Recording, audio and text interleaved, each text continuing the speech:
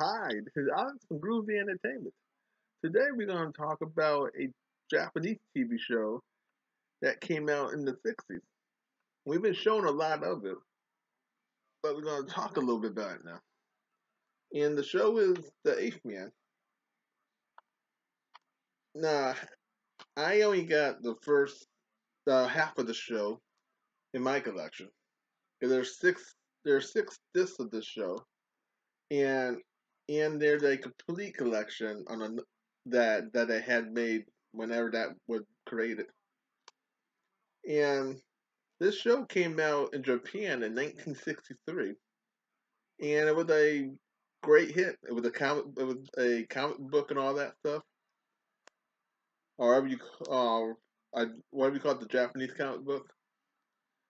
And then somehow it made it to America because somebody, some American person in Japan saw it on the Japanese TV, and they loved it, and they bought rights to it, and it made it to uh, a NBC in 1965, and it ran for two years, 65 to 67. Of course, the American people only got to see 51 of the 51 episodes of the 56 episode that was in Japan.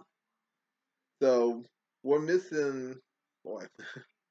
we're, we're missing a good five episodes that we never got to see.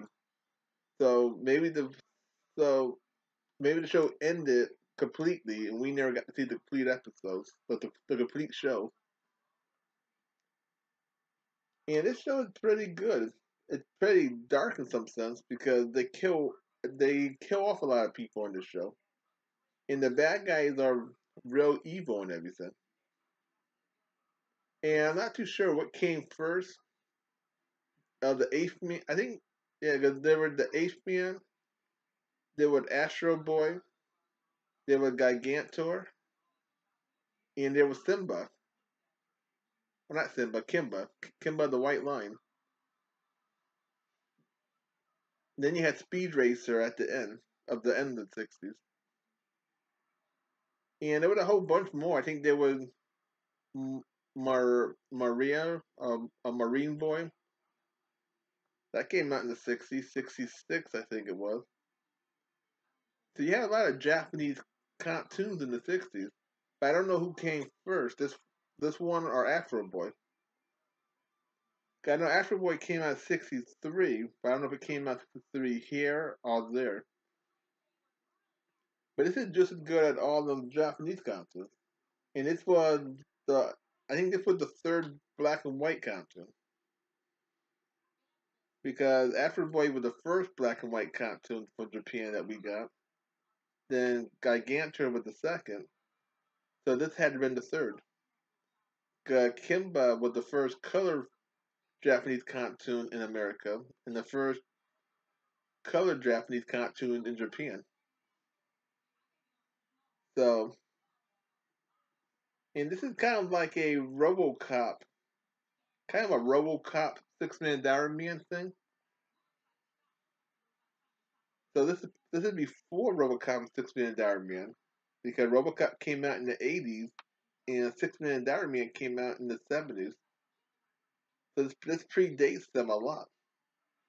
And this is like the the uh, Cyborg, the super, the DC superhero, the the black superhero that's half machine, half half human, and that came out in the eighties on the super on the Super Friend show.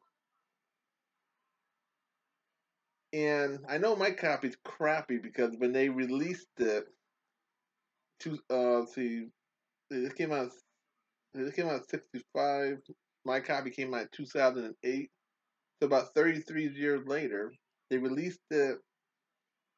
They took all the original uh, soundtrack, kind of, and made it kind of brand new soundtrack. So that's why it sounds kind of homemade. Now I don't know if the complete theory that they that I found on the internet is the original soundtrack or this this thing, but all this put together. One day I will buy it, and I will be able to compare the two, And if the one, if the complete collection is better than this, then I'll be real happy. Cause I would love to hear how the show Ray was made instead of the new soundtrack they put through it. And you can fi- you can find this on eBay and Amazon. I got my copies off of Amazon years ago. Good, good. I think good ten years ago. So it's been a long. No, yeah, been a long time. So this so this was Eighth Man from the '60s. So please like, subscribe, share, and comment, and have a groovy day. We'll have another video coming out real soon.